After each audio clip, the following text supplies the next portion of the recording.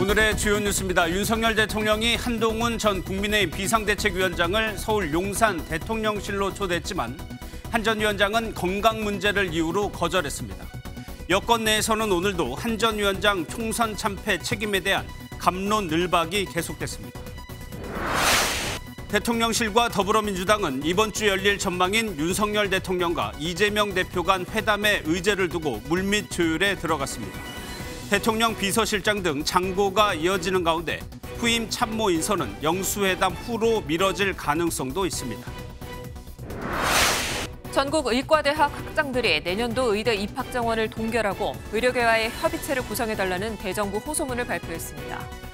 의대 교수들의 사표 제출이 오는 25일부터 순차적으로 효력이 발생하면서 의료 공백은 더 커질 것으로 우려됩니다. 기시다 후미오 일본 총리가 일본의 과거 침략 전쟁을 미화하고 전쟁 범죄자를 합사한 야스쿠니 신사에 공물을 공납했습니다. 우리 정부는 즉각 깊은 실망과 유감을 표했습니다.